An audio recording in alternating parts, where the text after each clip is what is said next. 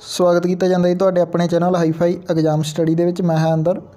ਅੱਜ ਆਪਾਂ ਜੋ ਹਿਸਟਰੀ ਦੀ ਟੈਸਟ ਸੀਰੀਜ਼ ਚੱਲ ਰਹੀ ਹੈ ਉਸ ਦੇ 15ਵੇਂ ਪਾਰਟ ਨੂੰ ਕਵਰ ਕਰਾਂਗੇ, ਜੋ ਕਿ ਤੁਹਾਡੇ ਪੇਪਰ ਦੇ ਪੁਆਇੰਟ ਆਫ View ਤੋਂ ਬਹੁਤ ਹੀ ਜ਼ਿਆਦਾ ਮਹੱਤਵਪੂਰਨ ਹੈ। ਇਸ ਲਈ ਵੀਡੀਓ ਨੂੰ ਸ਼ੁਰੂ ਤੋਂ ਲੈ ਕੇ ਅੰਤ ਤੱਕ ਜ਼ਰੂਰ ਦੇਖਣਾ ਜੀ। ਜੇਕਰ ਵੀਡੀਓ ਵਧੀਆ ਲੱਗੀ ਤਾਂ ਵੀਡੀਓ ਨੂੰ ਲਾਈਕ ਤੇ ਸ਼ੇਅਰ ਜ਼ਰੂਰ ਕਰਨਾ। ਤਾਂ ਚਲੋ, ਵੀਡੀਓ ਸ਼ੁਰੂ ਕਰਦੇ ਹਾਂ ਜੀ। ਪ੍ਰਸ਼ਨ ਨੰਬਰ 1 ਲਾਲਾ ਲਾਜਪਤ ਰਾਏ ਨੇ ਆਪਣਾ ਰਾਜਨੀਤਿਕ ਗੁਰੂ ਕਿਸ ਨੂੰ ਮੰਨਿਆ ਸੀ? ਇੱਥੇ ਰਾਜਨੀਤਿਕ ਆਉਣਾ ਜੀ। ਰਾਜਨੀਤਿਕ ਗੁਰੂ ਇਹਨਾਂ ਚਾਰਾਂ ਦੇ ਵਿੱਚੋਂ ਕਿਸ ਨੂੰ ਮੰਨਿਆ ਸੀ? ਤਾਂ ਉਹ ਮੰਨਿਆ ਸੀ ਜੀ ਆਪਸ਼ਨ ਨੰਬਰ 4 ਮੈਜਨੀ ਨੂੰ। ਪ੍ਰਸ਼ਨ ਨੰਬਰ 2 ਹੇਠ ਲਿਖਿਆਂ ਵਿੱਚੋਂ ਕਿਸ ਸ਼ਾਸਕ ਨੇ ਸ਼ਾਹਰੁਖ ਨਾਂ ਦਾ ਚਾਂਦੀ ਦਾ ਸਿੱਕਾ ਚਲਾਇਆ ਸੀ। ਇਹਨਾਂ ਦੇ ਵਿੱਚੋਂ ਕਿਸ ਸ਼ਾਸਕ ਨੇ ਸ਼ਾਹਰੁਖ ਨਾਂ ਦੇ ਚਾਂਦੀ ਦੇ ਸਿੱਕੇ ਨੂੰ ਚਲਾਇਆ ਸੀ। ਤਾਂ ਉਹ ਚਲਾਇਆ ਸੀਗਾ ਜੀ ਆਪਸ਼ਨ ਨੰਬਰ 2 ਬਾਬਰ ਨੇ। ਪ੍ਰਸ਼ਨ ਨੰਬਰ 3 ਸਿੰਧੂ ਘਾਟੀ ਦੇ ਲੋਕ ਕਿਸ ਦੀ ਪੂਜਾ ਕਰਦੇ ਸਨ? ਇਹਨਾਂ ਚਾਰਾਂ ਦੇਵਤਿਆਂ ਦੇ ਵਿੱਚੋਂ ਕਿਸ ਦੇਵਤਾ ਦੀ ਪੂਜਾ ਸਿੰਧੂ ਘਾਟੀ ਦੇ ਲੋਕ ਕਰਦੇ ਸੀ? ਤਾਂ ਉਹ ਕਰਦੇ ਸੀਗੇ ਜੀ ਆਪਸ਼ਨ ਨੰਬਰ 3 ਪਸ਼ੂਪਤੀ ਦੀ। ਪ੍ਰਸ਼ਨ ਨੰਬਰ 4 ਉਪਨਿਸ਼ਦਾਂ ਦੀ ਸੰਖਿਆ ਕਿੰਨੀ ਹੈ? ਤਾਂ ਇਹਨਾਂ ਦੇ ਵਿੱਚ ਆਪਾਂ ਨੇ ਇਹ ਦੱਸਣਾ ਵੀ ਉਪਨਿਸ਼ਦ ਦੀ ਜਿਹੜੀ ਸੰਖਿਆ ਹੈਗੀ ਉਹ ਕਿੰਨੀ ਹੈ? ਤਾਂ ਉਹ ਹੈ ਜੀ ਆਪਸ਼ਨ ਨੰਬਰ 2 108 ਪ੍ਰਸ਼ਨ ਨੰਬਰ 5 ਰਗਵੇਦ ਵਿੱਚ ਸੂਤਕਾਂ ਦੀ ਸੰਖਿਆ ਕਿੰਨੀ ਹੈ?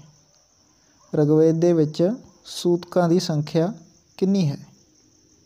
ਤਾਂ ਉਹ ਹੈ ਜੀ ਆਪਸ਼ਨ ਨੰਬਰ 4 1028 ਰਗਵੇਦ ਦੇ ਵਿੱਚ 1028 ਸੂਤਕ ਹਨ।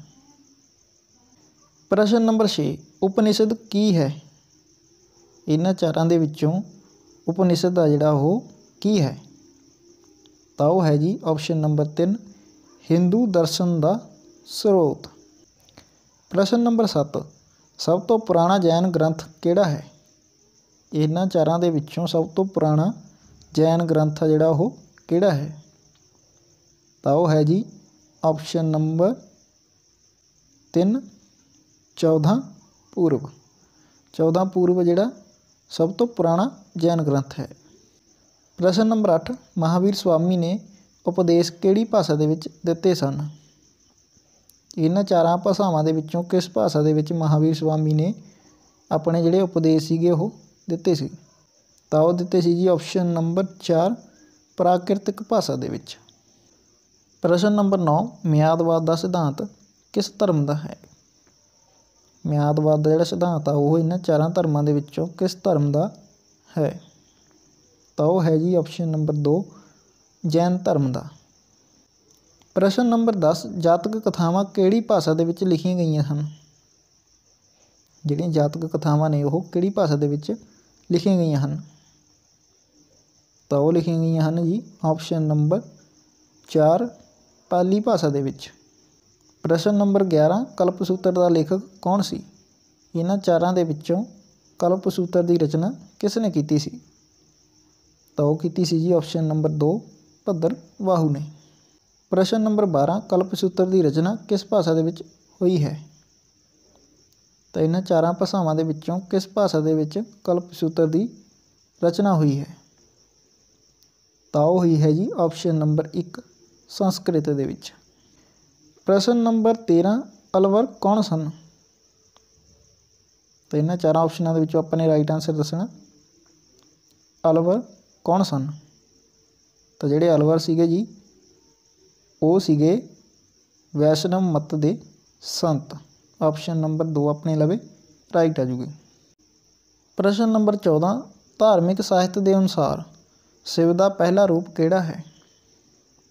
ਧਾਰਮਿਕ ਸਾਹਿਤ ਦੇ ਅਨੁਸਾਰ ਸ਼ਿਵ ਦਾ ਪਹਿਲਾ ਰੂਪ ਕਿਹੜਾ ਹੈ?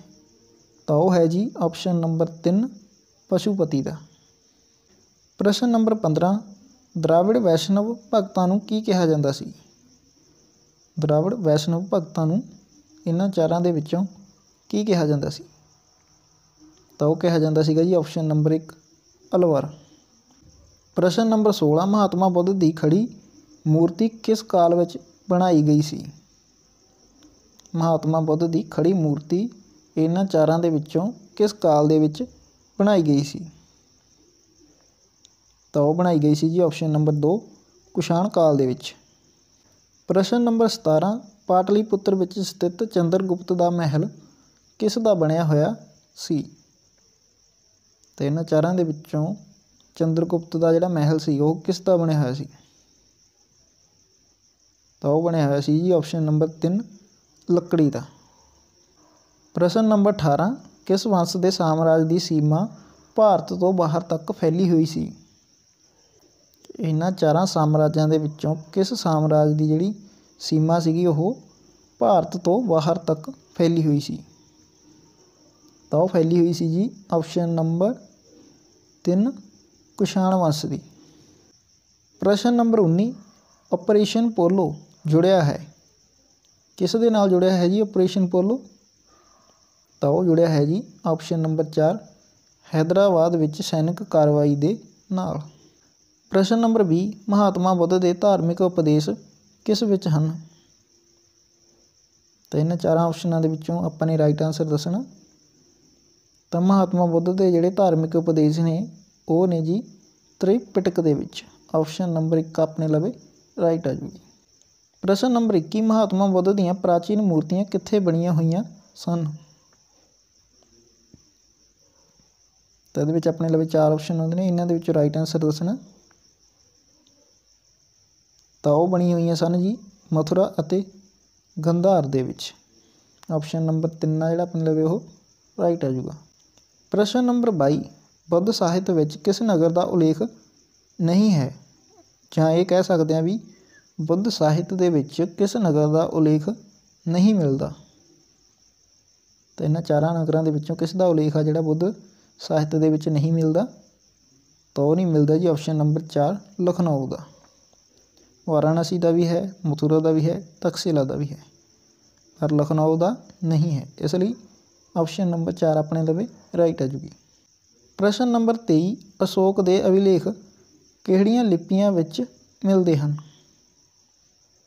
ਅਸ਼ੋਕ ਦੇ ਅਭਿਲੇਖ ਨੇ ਜਿਹੜੇ ਉਹ ਕਿਹੜੀਆਂ ਲਿਪੀਆਂ ਦੇ ਵਿੱਚ ਮਿਲਦੇ ਹਨ? ਤੇ ਇਹਨਾਂ ਵਿੱਚ ਆਪਣੇ ਰਾਈਟ ਆਨਸਰ ਦੱਸਣਾ ਜੀ।